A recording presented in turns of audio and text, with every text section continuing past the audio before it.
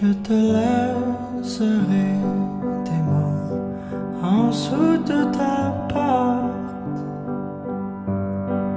en dessous de la mur qui charme.